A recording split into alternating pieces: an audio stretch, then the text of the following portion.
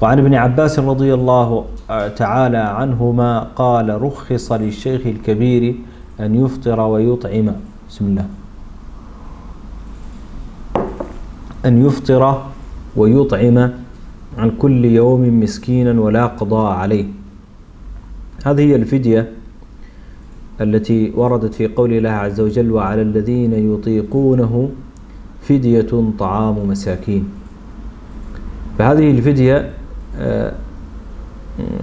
هذه الفدية على الكبير الشيخ الكبير الهرم ومن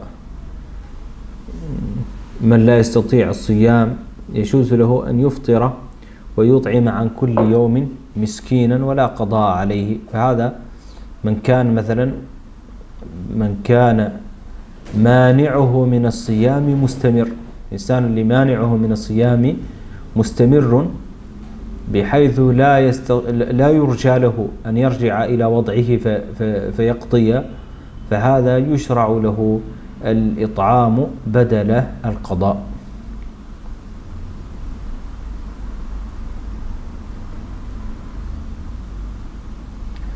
وعن أبي هريرة رضي الله تعالى عنه قال جاء رسول الله صلى الله جاء رجل إلى النبي صلى الله عليه وسلم فقال هلكت يا رسول الله. قال هلكت يا رسول الله. قال النبي صلى الله عليه وسلم وما أهلكك؟ قال وقعت على امرأتي في رمضان. فقال هل تجد ما تعتق رقبة؟ قال لا. قال فهل تستطيع أن تصوم شهرين متتابعين؟ قال لا. قال فهل تجد ما تطعم ستين مسكينا؟ قال لا. ثم جلس فأتي النبي صلى الله عليه وسلم بعرق فيه تمر فقال تصدق بهذا. فقال أعلى أفقر منا فما بين لابتيها أهل بيت أحوج إليه منا. فضحك النبي صلى الله عليه وسلم حتى بدت أنيابه ثم قال اذهب فأطعمه أهلك. رواه السبعة واللفظ لمسلم. إذن هذا حديث الكفارة. حديث الذي شرعت بسببه كفارة الصيام. فالنبي صلى الله عليه وسلم يقول جاءه رجل يقول يقول هلكت يا رسول الله هلكت هلكت يا رسول الله. فالنبي صلى الله عليه وسلم قال وما أهلكك؟ قال وقعت على امرأتي في رمضان. فانتبهوا إلى هذه المسألة. الصحابي يقول هلكت. سمى وقوعه على أهله في رمضان هلاكا. وهذا يدل على أن الصحابة ما كانوا يتساهلون لم يكونوا يتساهلون في مثل هذه الأمور. عكس كثير من الناس الآن فيأخذوا حديث تقبيل النبي صلى الله عليه وسلم السابق فيتساهل في مثل هذه الأمور يتساهل فيها وهذا خطير جدا. لذلك قوله هلكت يدل على أن الصحابة ما كانوا يتساهلون في هذا الأمر. وكانوا يعرفون أن ذلك التقبيل خاص بالنبي صلى الله عليه وسلم ولا ولا يفعلون مثل ذلك. فالنبي صلى الله عليه وسلم بين له خصال الكفارة قال هل تجد ما تعتق به رقبة؟ قال لا. قال فهل تستطيع أن تصوم شهرين متتابعين؟ في بعض الروايات أنه قال وهل أصابني ما أصابني إلا من الصيام؟ فقال لا. قال فهل تجد ما تطعم ستين مسكينا؟ قال لا. فجلس الرجل حتى أتي النبي صلى الله عليه وسلم بعرق وطبعا العرق والوعاء من يصنع من سعف النخل ففيه تمر. فالنبي صلى الله عليه وسلم أعطاه هذا التمر قال له تصدق بهذا. فجعل هذه الصدقة كأنها بدلا. بسم الله. جعل النبي صلى الله عليه وسلم هذه الصدقة بدلا من الكفارة. وهذا الحديث دليل على وجوب الكفارة ويدل على أنها على الترتيب وعلى أن الإنسان إذا لزمته فعجز عنها فإنه ينتظر قدرته. فالصحابي قال له أعلى أهل بيت أحوج منا؟ قال والله ما بين لابتيها فلابتا المدينة معناها الحرتين فالمدينة كانت بين حرتين. فقال ليس في المدينة أهل بيت أحوج إليه منا فقال أطعمه أهلك وضحك النبي صلى الله عليه وسلم. وفي هذا الحديث صورة عظيمة جدا من صور تسامح النبي صلى الله عليه وسلم وتساهله مع أصحابه وصورة عظيمة من صور رفع الحرج التي جاء بها هذا الدين العظيم. وعن عائشة وأم سلمة رضي الله عنهما أن النبي صلى الله عليه وسلم كان يصبح جنبا من جماع ثم يغتسل ويصوم.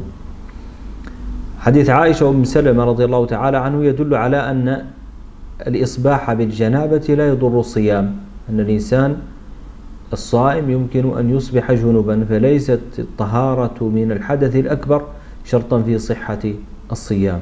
هذه هي خلاصة هذا الحديث والمسألة واضحة وهي ليست مسألة خلاف مسألة مجمع عليها. وعن عائشة رضي الله عنها أن النبي صلى الله عليه وسلم قال من مات وعليه صيام صام عنه وليه. متفق عليه. من مات وعليه صيام صام عنه وليه الإنسان إذا مات وعليه صيام يلزمه صيام فيصوم عنه وليه وهذا حديث مشهور وإن كان أهل العلم اختلفوا في هذا فبعضهم قال إنه إن هذا مثلا ليس عاما وبعضهم أجاز صيام الإنسان عن وليه. فهذا مما يتعلق بالصيام الواجب والآن نبدأ إن شاء الله تعالى في صيام التطوع. قال باب صوم التطوع وما نهي عن صومه. عن أبي قتادة الأنصاري رضي الله تعالى عنه أن رسول الله صلى الله عليه وسلم سئل عن صوم يوم عرفة.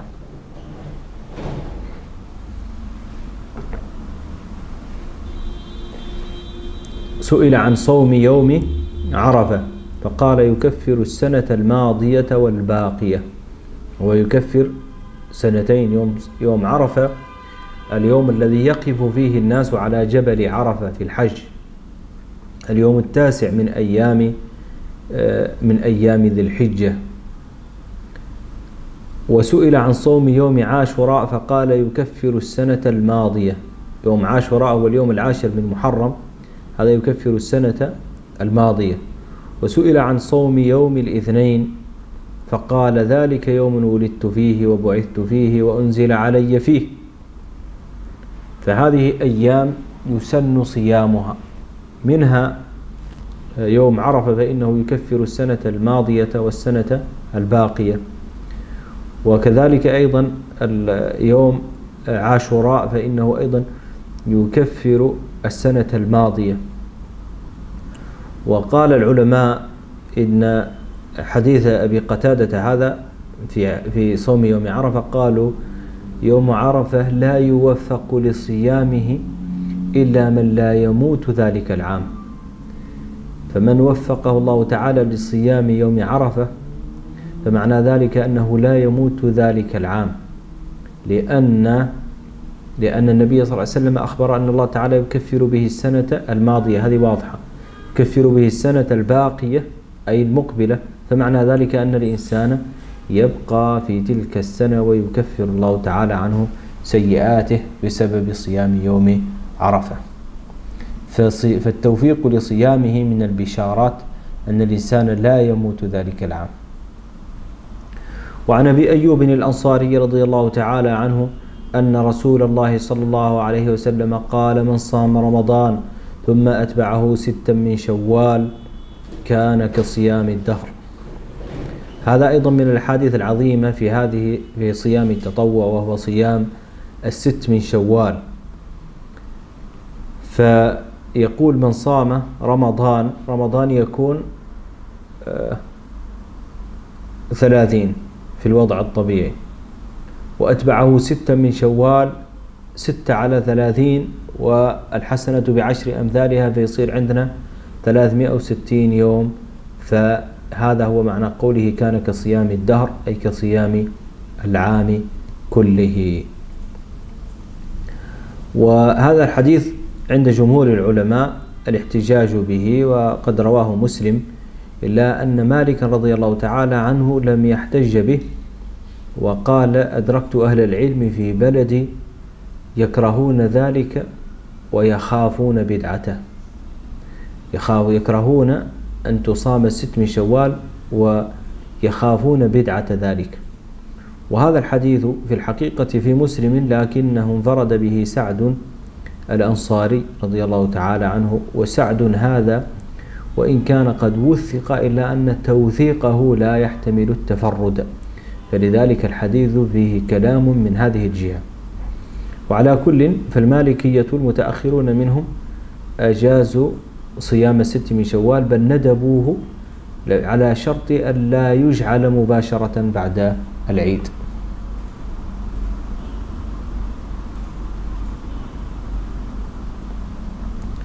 وعن أبي سعيد الخدري رضي الله عنه قال قال رسول الله صلى الله عليه وسلم ما من عبد يصوم يوما في سبيل الله إلا باعد الله بذلك اليوم وجهه عن النار سبعين خريفا. ما من عبد يصوم يوما في سبيل الله إلا باعد الله بذلك اليوم وجهه عن النار سبعين خريفا. هذه غنيمة عظيمة جدا وأمر في غاية الأهمية وأجر عظيم. نسأل الله تعالى أن يباعد وجهي ووجوهكم من النار. فلنغتنم الفرصة خصوصا في هذا الشتاء الشتاء غنيمة المؤمن. وعن عائشة رضي الله عنها قالت كان رسول الله صلى الله عليه وسلم يصوم حتى نقول حتى نقول لا يفطر. كان رسول الله صلى الله عليه وسلم يصوم حتى نقول لا يفطر ويفطر حتى نقول لا يصوم. وما رأيت رسول الله صلى الله عليه وسلم استكمل صيام شهر قط إلا رمضان وما رأيته في شهر أكثر منه صياما في شعبان. متفق عليه. عائشة تقول أن النبي صلى الله عليه وسلم لم يكن صيامه على وتيرة واحدة. كان يصوم حتى نقول لا يفطر. يسرد الصيام حتى نقول ما لن يفطر. ويفطر أيضا حتى نقول خلاص ترك الصيام. وما رأيت رسول الله صلى الله عليه وسلم استكمل شهرا إلا رمضان معنا. ما يستكمل الشهر كله إلا إذا كان رمضان. وما رأيته في شهر أكثر منه صياما في شعبان فكان في شعبان يكثر الصيام صلى الله عليه وآله وسلم.